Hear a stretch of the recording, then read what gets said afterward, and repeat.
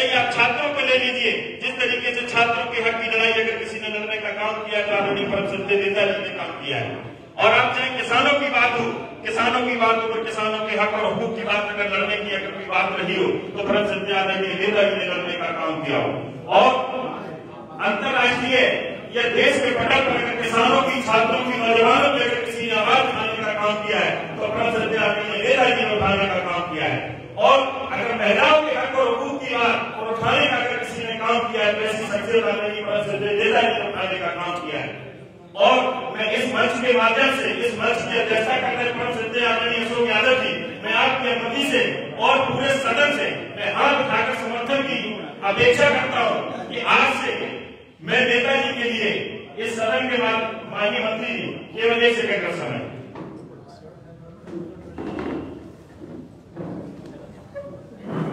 मैं केवल नेताजी के लिए मैं भारत रत्न की इस मांग को मैं बढ़ाना चाहता हूँ और पूरी ताकत के साथ ही देना चाहता हूँ परम संजय आदरणीय नेताजी को जब तक भारत रत्न नहीं मिलेगा, हम समाजवादी कार्यकर्ता और जवान हमेशा लड़ाई करने का काम करेंगे और ऐसी उम्मीद करेंगे कि नेताजी को भारत दिया जाए। इसी के साथ अपनी वाणी को प्राण देते जय हिंद, जय समाज। सभी लोग हाथ उठाकर समर्थन करें।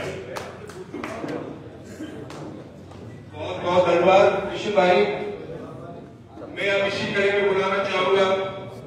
पार्टी के उपाध्यक्ष चच्चू शुक्ला जी आए। चच्चू शुक्ला आए और अपना बोधन दें वो आपका एक और पचहत्तर हज़ार पचास तीन सौ अट्ठाईस।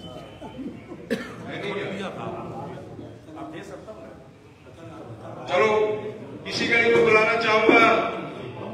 पार्टी के वरिष्ठ नेता आलोक दीक्षित जी आए और नेताजी के को सिद्धार्थ सुबह अर्पित करने का काम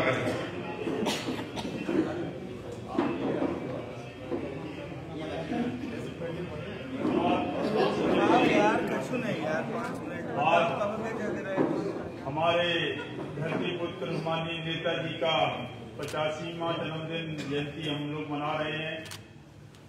नेताजी, वीर मुलायम सिंह है नेता मजदूरों और किसानों का। नेताजी ने जो राजनीतिक शुरुआत की कि गरीब परिवार से निकलकर देश के एक बड़े पद पर पहुंचकर, देश के रक्षा मंत्री से लेकर प्रदेश के मुख्य तीन बार मुख्यमंत्री बनकर हम समाजवादियों को और दबे कुचले और पिछड़े लोगों को जो आगे बढ़ाने का काम किया है, उसके लिए हम इटावा की धरती से हम लोग सौभाग्यशाली हैं कि हम उस धरती पुत्र की धरती पर पैदा हुए।